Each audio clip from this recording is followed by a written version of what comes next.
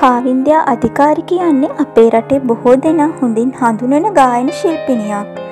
ඇය මේ දවස්වල අලුත් ආදරයත් එක්ක සතුටින් කාලය ගෙවනවා කියලා සමාජ මාධ්‍ය හරහා කියලා තිබුණා.